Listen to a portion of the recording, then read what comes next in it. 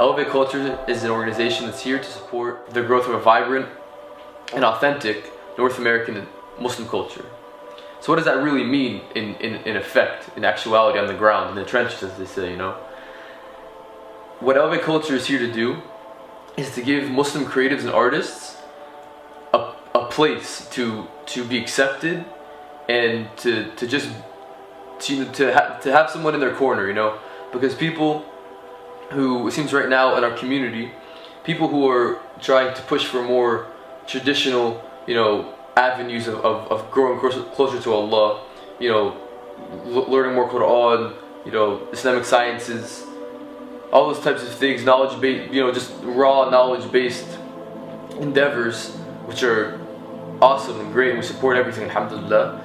that those are really being supported heavily and, and when people try to do that, they get support from the community. People are saying and, and, and, encouraging them and cheering them on and saying that's great, and which it is, alhamdulillah. It's that we see that there's a, a lack of that same response to Muslim artists and creatives. We're just trying to give people a place to come and feel accepted and that no, you're not a heretic, no, you're not bad, you're just, you're, you're, you're just someone who's trying to express their creativity and do it in an Islamic fashion. And by doing so, you're elevating the culture we live in and really, we feel at Elevate Culture, fulfilling the Sunnah in its essence and not in its just outward appearance. And so we just want to really support people who are trying to do endeavors to that end and engage endeavors to that end.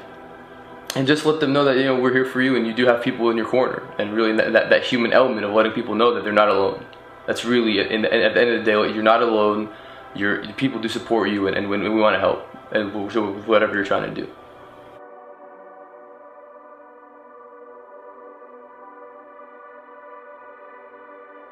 So what we define as a muslim artist is someone who's involved in just something that's culture building that's that's you know whether it's film literature obviously you know, uh, your typical your your your idea of a of your traditional artist in terms of like painting or drawing or it, even if you if you take that not you know now computers now the technology some kind of graphic design or film editing type of person as well so even people who are into you know cuisine architecture anything like that culture related that, that, that helps just put a voice behind the, the people. You know, so that's what we're really defining as an artist. Or if I if I missed anything, it's really again that's what it's not necessarily a certain person or certain uh, craft. It's more of just someone who, who who's helping put meaning and, and a backdrop behind that raw knowledge and taking it to a new level. If you take the metaphor of baking a cake, when you bake a cake, you can you can make something that looks like a cake with your basic ingredients, your flour, your eggs, whatnot, that you can put together and then you can bake and you, you take it out of the oven, it will look physically like a cake. But it doesn't necessarily mean, necessarily mean it's going to taste like a cake.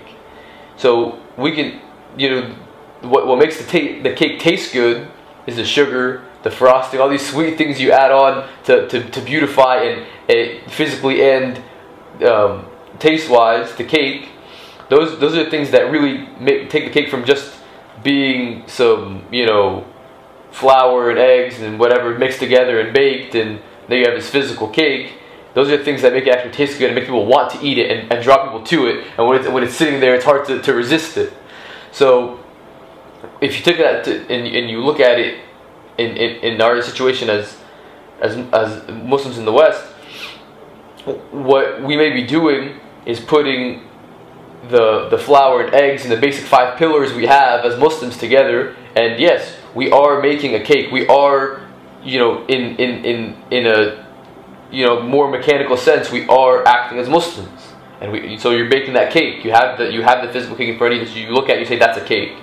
And, you, and, so we so we dress a certain way, we make certain prayers, we fast during Ramadan, we do certain acts, and yes, so yes, you look, you are a Muslim. But if you get to the next level now, so like we said, what what makes that cake? What what draws people to that cake? It's not the cake itself. It's more of the the sugar you put in, the frosting on top, and for for us as Muslims, we we have to see what's what's our sugar, what's our frosting that we're gonna put on our cake to bring not I mean not even not even try to bring non-Muslims but just make Muslims themselves draw, and especially the youth growing up here, draw them to our cake of Islam and make them, you know, want it and, and, and keep coming back to it and make it hard to resist for them. So that's really the question. What's our sugar and what's our frosting and, and, and how do we bring people to see the beauty of this faith? And at EC, we, we're defining the sugar, what we see as the sugar and the frosting, to add to our cake, is the arts. So by support, right now, that the avenues we have for support at Elevate Culture, if you go on the website, uh, elevateculture.org, we have three $1,000 grants that we're currently offering. The deadline is September 15th for anyone with, with any type of project. We, With any type of project, we encourage all applications to just if you have a project in mind that that you need support for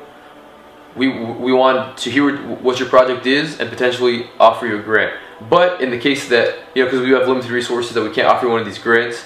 you can always be on our project gallery that people can come just see your project and then if, if they want to help fund you if they, if they like what your project is you give us a, a basic uh, a basic you know a, a project brief some pictures videos whatever whatever can enhance and, and let people know what your project is about.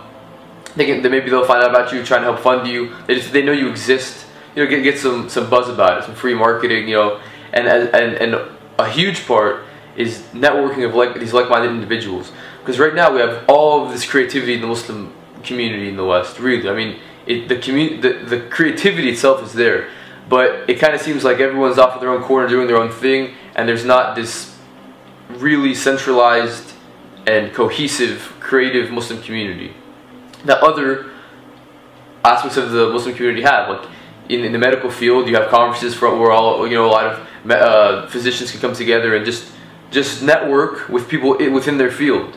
And the same way, we feel like there's no reason why there shouldn't be something like that for Muslim creatives and artists. They can come, bounce ideas off each other, collaborate, and just and just generally have a place where they feel accepted and and that you know and that, that and that they're being supported and just that feeling itself maybe you know can help propel people to, to reach new heights in their crafts and and you know produce awesome works that allow Muslims and non-Muslims alike to see the beauty of our tradition and heritage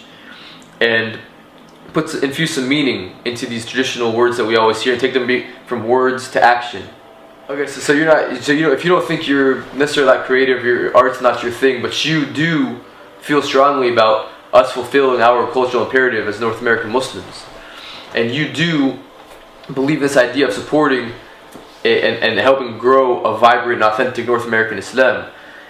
You, you don't have to just, you know, if you don't have a project, you come to our website and, man, that's what I can do. No, if, if, if you feel strongly about this, I mean, there's, there are multiple ways you can help. You can help spread the word, number one, really trying to, to get out there. People, let people know we exist because what we find is, you know, a lot of people feel, feel what we're doing and and they, and they really you know when they find out about us they, they love what we're doing but they don't necessarily know we exist so try to get the word out you can help us spread the word via whatever mediums social media whatever word of mouth whatever that is reach out to your networks. Or just going on the website and supporting the, the people who do have projects. Because you don't necessarily you don't necessarily have to have a project yourself but you go on a project gallery you see some, some projects you, you believe and you support you can help fund them. Or you can get in contact with the with the artist, let them know, hey man, I like what you're doing, and I'd like to help out however I can, whether that be monetarily or not, or, or otherwise. We have an aspiring filmmaker who has a, a, project idea for a film on the project gallery right now, and you know once that comes out, inshallah, just watching it, spreading the word, supporting him, and just in that way, just you know, give,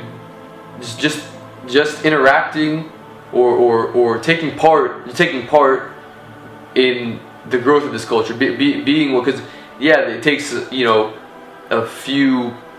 people who, who actually have these ideas, but then without the general support of the, the, the population as a whole, can't really get very far. So just your support of these pe- of, of these people who are trying to do projects, if you don't have a project yourself, goes a long way. Man, what I see in the future, inshallah, the dream is to just have you know, the, the Muslim community, at, you know, at large in the whole world, inshallah, the Ummah, but specifically, you know, North in North America, that we just we're free, you know, we're, we're free to be ourselves. We can we can be Canadian Muslims, we can be American Muslims, and just and not have this like feeling of of their something that they're two separate things. Feel like, like reconciling those two and really feeling comfortable in our own skin, and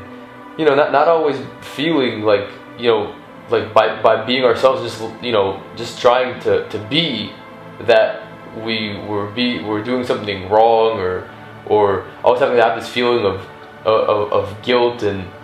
and if I'm not if I'm not this picture of what a Muslim is, you know, whoever defined that picture, what if I'm not that picture, then then for whatever reason I'm less of a Muslim, and, and I'm, and I'm letting out someone else define, and, and somewhere else in the world define what I should be as a Muslim here. When when I'm one who grew up here, I know the challenges that I grew up with and what, what people around me grew up with, and and when we are are suited to address the issues that we see around us,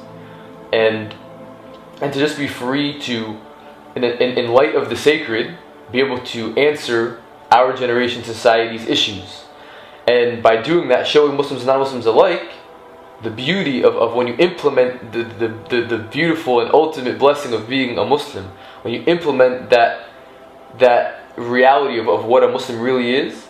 and the, the just the amazing effects it has on you and the people around you, and you become you know, this is the idea of, you know, you go from being dead and, and uh, the dead land that, that, that, that it comes, Allah brings it to life and, and feeds people off of it. And you can, and, and, and having Muslims who, who go from, who can, who can be awoke, who can be awakened